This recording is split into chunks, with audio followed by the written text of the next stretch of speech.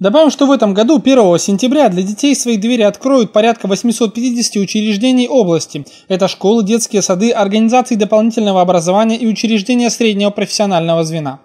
В этом году численность обучающихся составляет 126 тысяч человек, причем с каждым годом она возрастает. Надзорные органы традиционно ко Дню знаний проверяют образовательные организации на соответствие санитарным нормам, требованиям пожарной и антитеррористической безопасности, а также правильность оборудования пешеходных переходов.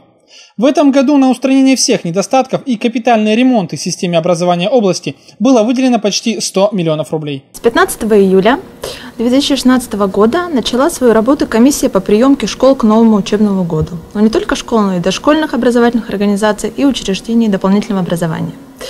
В настоящее время все образовательные организации приняты к новому учебному году без замечаний.